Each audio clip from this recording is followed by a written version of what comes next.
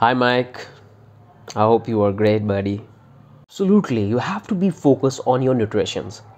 Like whatever diet you have explained me that you are having your breakfast around like 7 a.m.s where you have been eating three egg whites and two whole eggs. Then eating that in the morning, you are getting you are providing to your body a very good amount of proteins. Like you're getting clean proteins, you are good providing good fats, good fats and along with eggs you are taking uh, like 70 grams of oats. It's absolutely perfect. Perfect for muscle building.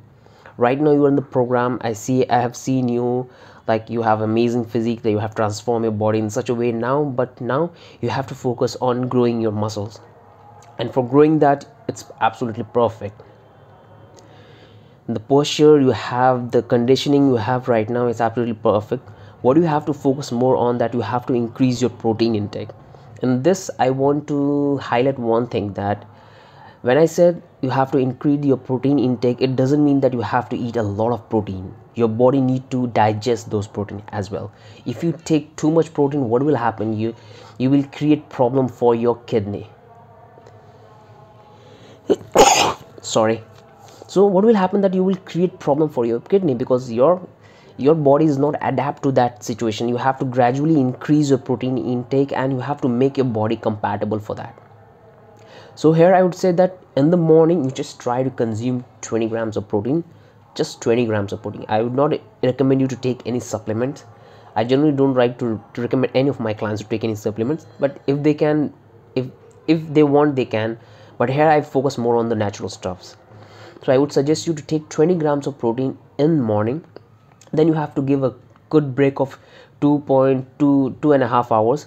And after that you have to take another meal. So what you have to do you, you have to take at least six to seven meals throughout the day.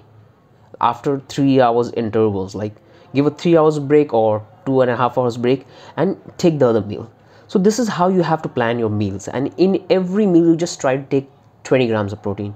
In that way what will happen like if you measure your protein intake throughout the day you are getting almost 30 grams or almost uh, what i would say in each meal you are getting 20 grams of protein. If you divide it with the 6 you're getting 120 grams of protein. The conditioning you have it's absolutely perfect. The type of training you are doing is absolutely perfect for that.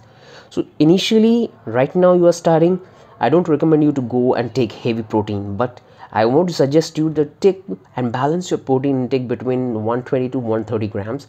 That would be the sufficient for you.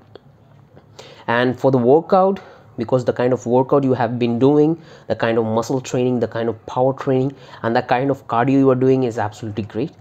As I told you that you have to do your cardio twice, like twice a week, not more than where in those two days you have to focus more on your cardio rather than focusing on your muscles. So you have to do two days cardio dedicatedly and and the next six and next four days of the week what you have to do you have to do power training. I mean with the power training is that you should not go heavy.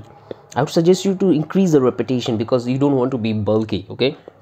You want a well aesthetic and curt look where you want to just highlight all the muscles all the curves you have. So what i would suggest that you have to go on high repetitions rather than increasing the weight that will what will, will do that it will increase the strength of the muscles and it will highlight the curves of your body. So this is what i would suggest you to focus more on. And and this is what and if it's possible for you if you feel that that you need to do a more cardio two days not enough for me. So in that in that situation i would suggest that do one thing that you can do a cardio. If you think that you want to do more cardio so what you can do what you can do. Like you can do one thing that you can do a half an hours or 20 minutes of cardio in the morning. And like later in the evening or maybe whatever time you have for your workout. And that time you just dedicatedly focus on your workout on your power training. Don't combine cardio and workout simultaneously because if you combine both the things what will happen? You will ultimately damaging your muscles which i don't recommend you to do that.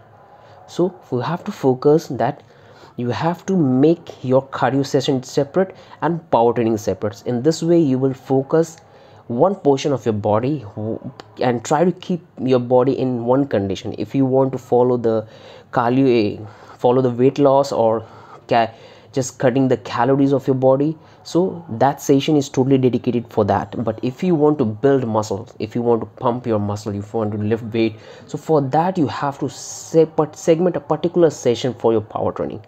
Again i'm telling you you have to make these two things separately. Workout just do at a separate time. A power training do at a separate time.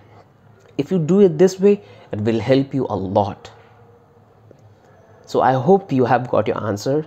And it's really nice talking to you because you have just it's it's absolutely amazing to have a call like this where we can just to see your progress the kind of progress you have been the kind of question is you are having. It's absolutely great. So i hope you have got the advice and i really whenever you feel like connecting you want to know any information please drop that in the community and i'll try to answer and or if we have a time we can have a video call like this we are having right now. So see you bye bye